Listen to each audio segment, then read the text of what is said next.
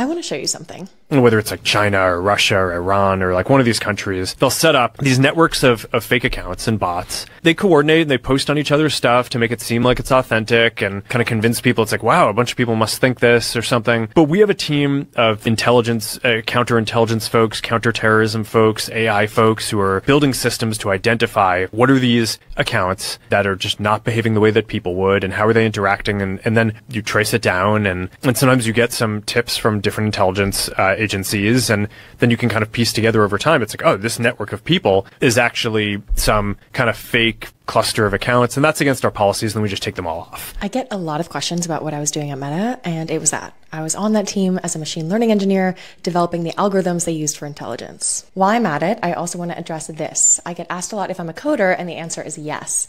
Both my degrees are in computer science, focused in artificial intelligence, which is in the engineering department of Stanford.